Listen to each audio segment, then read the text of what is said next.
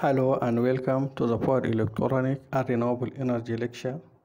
Today we are going to design the off-grid solar system or standalone PV system.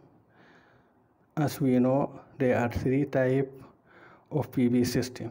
Grid connected PV system, off-grid PV system, and hybrid PV system. This figure shows the essential component of standalone PV system or off-grid PV system. We have the PV solar array, charge controller, DC circuit breaker, battery bank, DC to AC inverter, AC circuit breaker, and finally the load. For sizing the off-grid PV system, we have five steps. The first step will be the load analysis. And the second step is the PV panel sizing. And the third step is the inverter sizing. And the fourth step is the battery bank sizing. And the final step is the solar charge control sizing. We will be going through this step by step to ensure that the system meets the energy needed of the intended application. The load analysis is the first step in sizing an off-grid PV system. And the aim of the load analysis is to determine the total amount of energy required in the day. The following table presents the power consumption for a medium-sized apartment with two bedrooms, a living room, and a kitchen. This table provides a general idea of the power consumption distribution in a medium-sized apartment. From the table, the total power equal to 1097 and the total daily energy consumption equal to 7.8 kilowatt hour per day.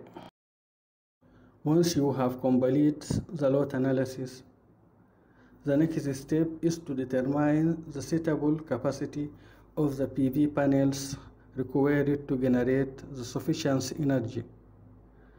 To do that, first you need to know where you want to install the system and the average sun peak hour per day you have in your area. The sunlight availability affects how much energy your solar panel generates. And this map displays the global horizontal irradiation levels.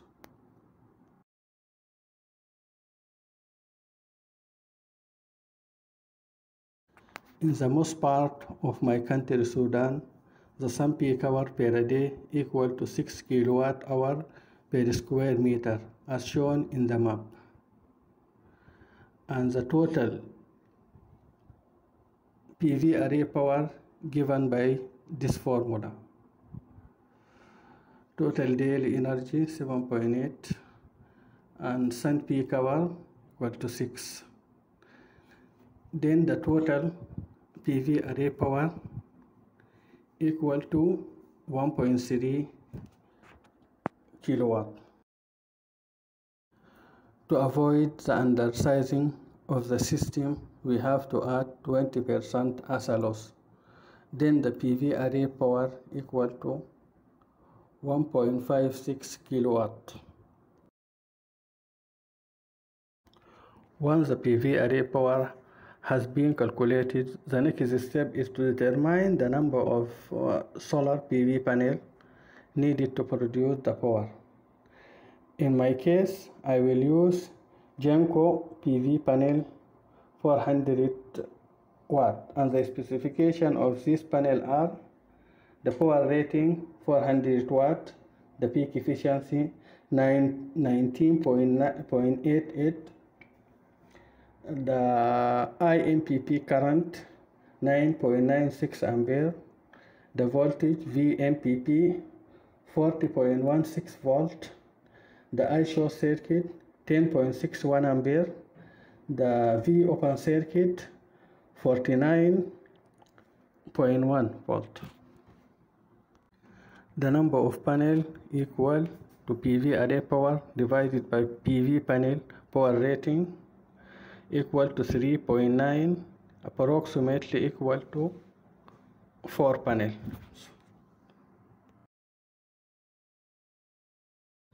and the 4 panel are capable for producing 1.6 kilowatt Step 3 Inverter sizing. The inverter is a critical component that converts the DC generated by the PV panel into the AC that can be handle the peak load. To consider the surge power, every device have a motor is multiplied by 3 while the remaining component are multiplied by 1.3. We are going to use the previous uh, table that we used in the load analysis. Then the total power will be 3.65 kilowatt. The suitable inverter rating for this system is 4 kilowatt. The 4 kilowatt must hybrid solar inverter was selected in this case.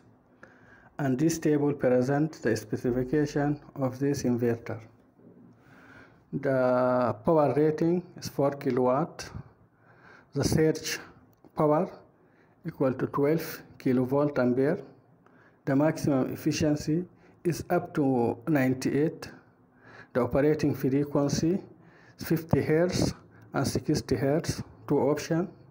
The normal battery system have two options, 24 volt or 48 volt. And the maximum charge current for 24 equal to 80 ampere for 48 equal to 60 ampere. And uh, MPP ranged the operated uh, DC voltage it ranged from uh, 24 system from 32 to 145 voltage for the 48 system it ranged from uh, 64 to 145 voltage and the maximum PV array power open circuit voltage equal to 145 volt.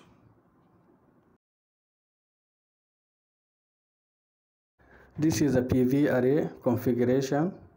The nominal current equal to 19.92 ampere and the operating voltage equal to 80.32 volt.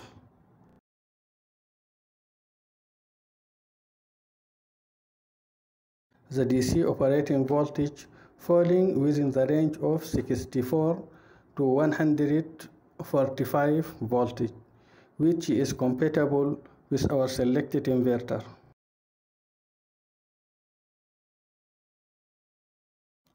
Step 4 Sizing a battery bank. The battery stored additional solar energy during sunny period for using it to the night or in the cloudy days. So for sizing the battery bank, you need five factors. The total energy and the number of days you need to store the energy for and the system efficiency and uh, number four you need the DOD or deep of charging of the battery as shown in this figure. The lifetime of the battery depending on the DOD and number five you need uh, the system voltage which will be selected depending on the load energy as present in these figures. The required battery capacity equal to 382.2 ampere.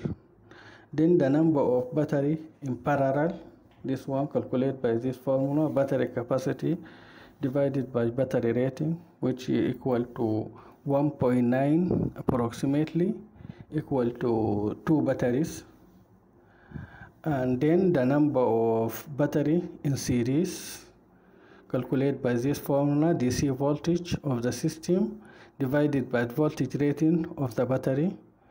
The DC voltage equal to 48 divided by 12 which equal to 4. The battery bank configuration. The number of batteries needed are 8 batteries, 2 parallel and 4 in series. And the configuration of the batteries shows in these figures.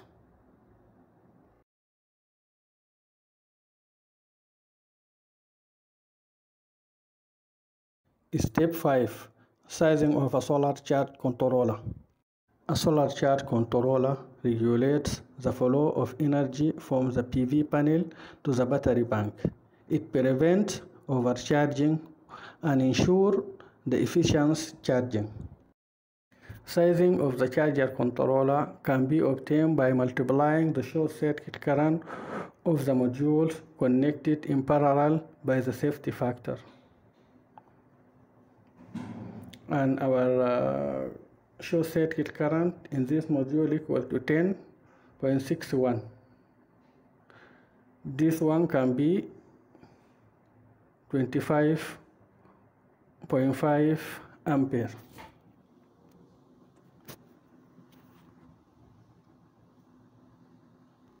The charge current equal to 25.5 ampere.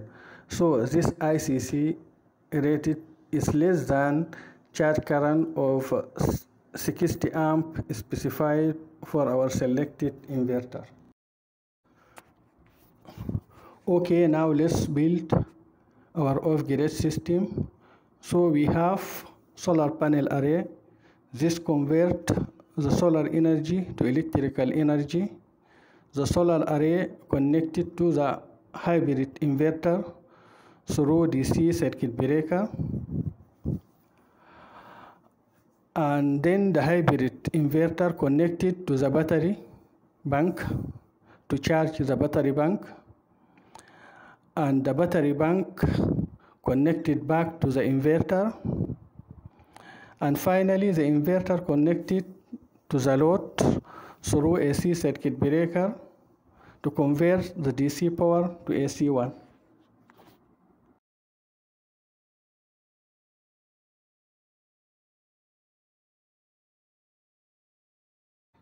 That is all for today. Thank you for your attention. In the next video, we are going to design the on-grid PV solar